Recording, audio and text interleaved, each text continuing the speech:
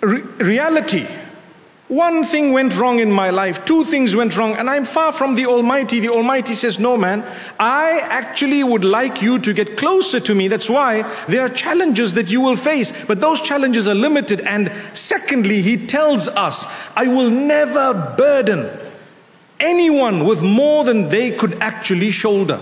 I'll never place on your shoulders more than you can cope and manage. So you can. He wants to push you. He wants to he wants to ensure that you do your best, you do better than you did the last time. Take a look at the schools that we've all been to, and many of us probably at school right now. Don't they push you with a more difficult exam every time you pass one?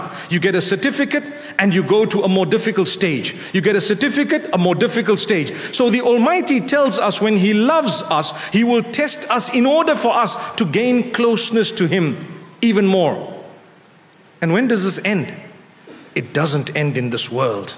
This world, the nature of it is that you will be tested right to the end.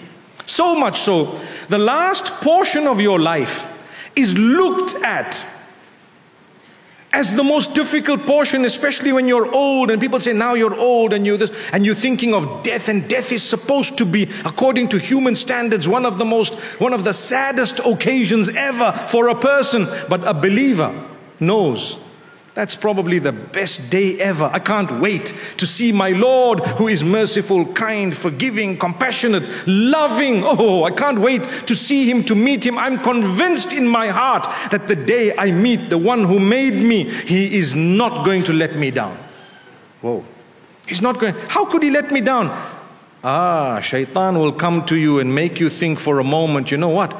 Look at the sins you did. Look at what you did. My brother, my sister, that's your past. P A S T.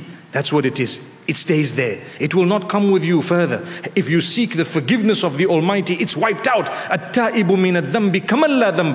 The one who sought forgiveness from a sin is equivalent to the one who didn't sin. Because Islam is based on forgiveness and the mercy of the Almighty. When the Quran starts or when you want to begin recitation, what do you say? You seek the protection in Allah from shaitan, the devil, the accursed.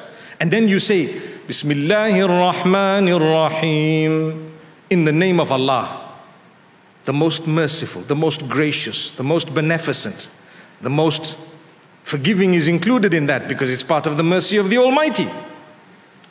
Doesn't that show you that the Almighty is most merciful? So we keep going, my brothers, my sisters.